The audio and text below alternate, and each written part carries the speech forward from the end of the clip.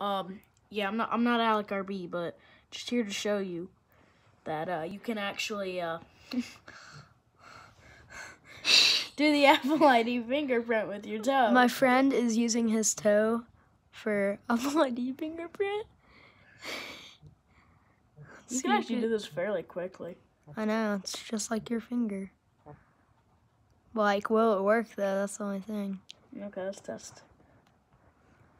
Let's turn around.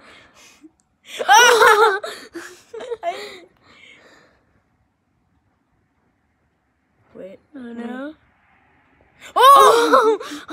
oh, well, well, there's the there's a there's a quick video for you. I hope you enjoy. Like, subscribe, share the channel. Oh, and and and and and and yeah.